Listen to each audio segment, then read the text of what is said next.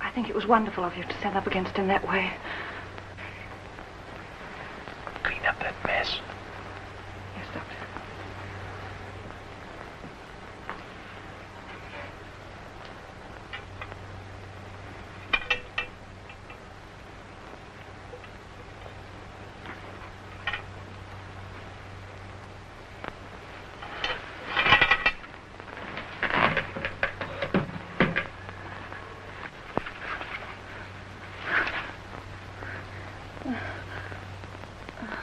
Matter with you? Uh, uh, this is my first case with a sick child. And I got to like her an awful lot. Oh.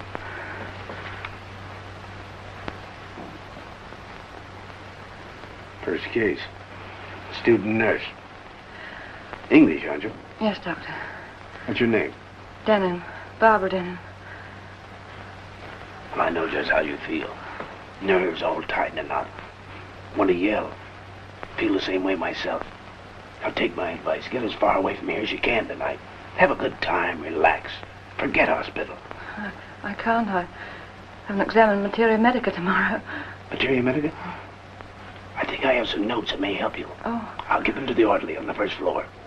oh thanks. Dr. George, Yes, baby. don't go away.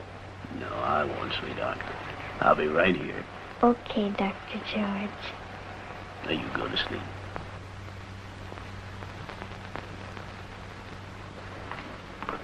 Thanks, Pete. I hope the lady likes my vest. I hope she favors my suit. What an awful dinner tonight. Fish. I hope the redhead doesn't like fish.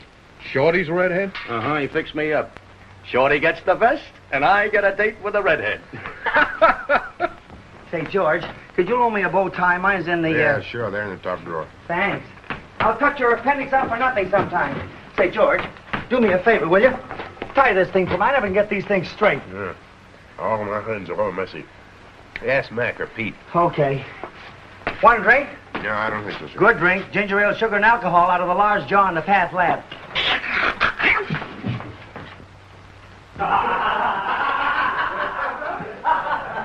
Say, somebody tie this tie for me, will you? Ha! Hey, look out for my vest!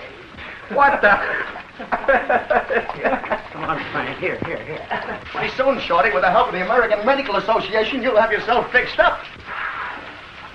What are you doing in? 401 may need a transfusion. Oh, yes, of course. A lot of good that'll do him. 401? He passed out. No. When? About ten minutes ago. There you are, Shorty. Thanks. You're welcome.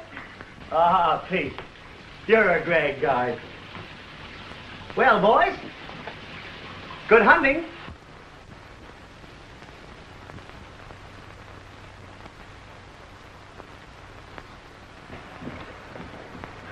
Outside wire, please. Pardon me. Certainly. Hello? Hello. Hello, Laura. Look, dear. I can make it tonight after all. You can hardly expect me to be sitting here by the phone waiting for you. I've made other plans. I'm just leaving. But, Laura. Oh, don't be childish. I'm in a hurry.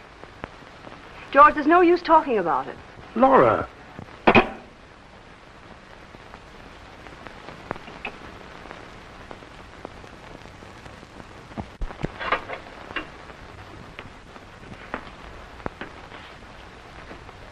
You. I'm going to eat, drink, and make merry.